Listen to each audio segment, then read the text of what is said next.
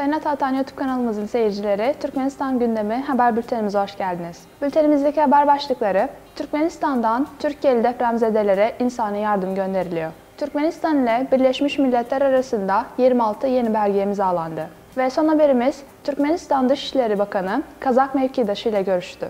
İlk haberimiz, Türkmenistan'dan Türkiye'li depremzedelere insani yardım gönderiliyor. Türkmenistan'da Kızıl Yarımay Yardım Kurumu'nun Kahramanmaraş merkezli depremlerde mağdur olan afetzedelere 100 yatak ve 60 ısıtıcı gönderdiği bildirildi. Türkiye'nin Aşkabat Büyükelçiliğinden edinilen bilgilere göre Türkmenistan'da Kızıl Yarımay Yardım Kurumu Kahramanmaraş merkezli depremlerde mağdur olanlara 100 yatak ve 60 ısıtıcı gönderdi. Kızıl Yarımay Yardım Kurumu ve Türkiye'nin Aşkabat Büyükelçiliğince düzenlenen kampanyaların sonucunda şu ana kadar depremzedelere 6971 battaniye, 100 yatak, 20 jeneratör, 60 ısıtıcı, 6 seyyar tuvalet, 11 ton giyecek, 44 ton tıbbi malzeme ve 67 ton gıda ulaştırıldı. Türkiye'nin Aşkabat Büyükelçisi Togan Aral, Türkmenistan'ın deprem mağdurlarına insani yardım göndermeye devam edeceğini belirtti. Büyükelçiliğimiz koordinasyonluğunda Türkmenistan'dan deprem bölgesine yardım malzemesi göndermeye devam ediyoruz.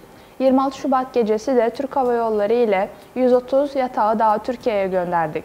Acil ihtiyaç duyulan malzemelerin doğru noktaya ulaşması sağlanıyor şeklinde ifadeler kullandı. Türkmenistan ile Birleşmiş Milletler arasında 26 yeni belge imzalandı. Türkmenistan'ın bakanlıklar, kamu kuruluşları ile Birleşmiş Milletler'in Türkmenistan'daki birimleri olan UNDP, UNFP, UNICEF temsilcilikleri arasında imza töreni Türkmenistan Dışişleri Bakanlığı'nda gerçekleştirildi. Törende Türkmenistan ile Birleşmiş Milletler'in ekonomi, sağlık, eğitim, medya ve diğer önemli alanlardaki işbirliğine ilişkin 26 yeni belge imzalandı. Bunlar arasında 2023-2025 yılları için ortak projeler ve bu yıl için çalışma planları da yer alıyor. Bu belgeler 2021-2025 için özel Birleşmiş Milletler yapılarıyla önceden imzalanmış ülke programı belgelerinde belirtilen amaç ve hedefleri yansıtmaktadır. Birleşmiş Milletler ile Türkmenistan'ın 19 kurumu arasındaki 26 anlaşmayı içeren mevcut belge paketi çok çeşitli işbirliği alanlarını kapsıyor.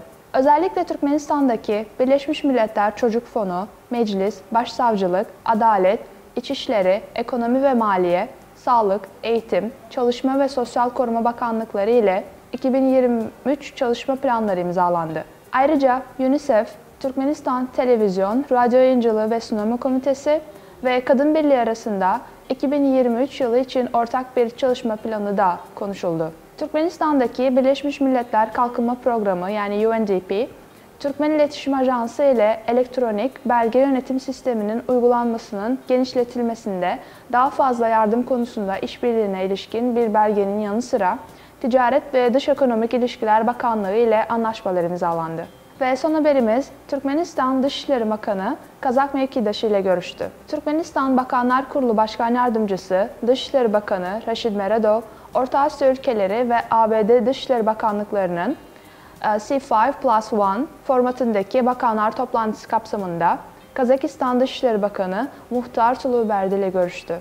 Taraflar iki ülke arasındaki ticaret, ulaştırma, lojistik ve enerji alanlarında dahil olmak üzere ikili ilişkilerin daha da geliştirilmesi konularını değerlendirirler. İki ülke arasındaki stratejik ortaklığı kapsamlı bir şekilde güçlendirmeye amaçlayan üst düzeyde varılan anlaşmaların uygulanmasına özel önem verildi. Görüşmede ayrıca bölgesel ve uluslararası gündemdeki konulara ilişkin kapsamlı görüş alışverişinde bulunuldu. Uluslararası arenada işbirliğinin daha da güçlendirilmesine ilgi dile getirildi. Sayın Atatan YouTube kanalımızın izleyenleri, Türkmenistan ile ilgili Türkçe haberlerimizi atatanturkmenistan.com haber sitemizden takip edebilirsiniz. Teşekkürler.